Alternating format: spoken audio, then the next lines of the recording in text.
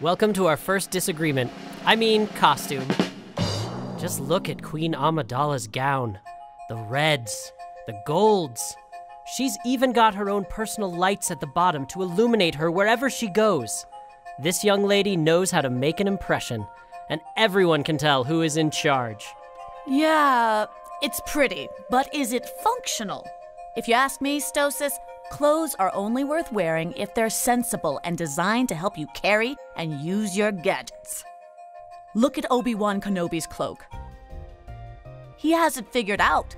This outfit is practical, keeps the sun off your skin, and has plenty of pockets, and a belt for cool gadgets like, I don't know, maybe a lightsaber? Costumes are for making an impression and telling the world about yourself.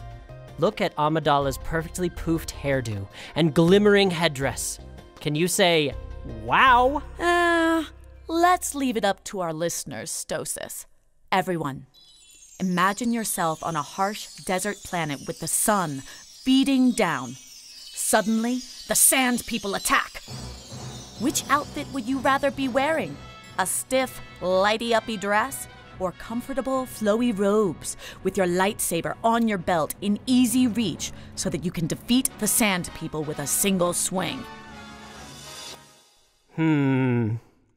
Now, dear listeners, take a moment to imagine you're at a royal palace, greeting a visitor from another planet.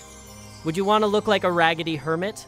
Or would you want to be cloaked in fine red silks and fur, faux, of course, with a crown of gold? I just hope you don't need your blaster. There are no pockets in that thing. Obi Wan's getup is intentionally simple. He was a great Jedi, and the Jedi are humble and don't value fancy stuff like that. Plus, robes like his have stood the test of time. See for yourself. The cloak Obi Wan wore in his younger days looks almost the same as this one, and it's right around the corner. Along with the greatest gadgets of all time, each one unique and built only for its master. Listeners, look down on your screen for where to meet us next.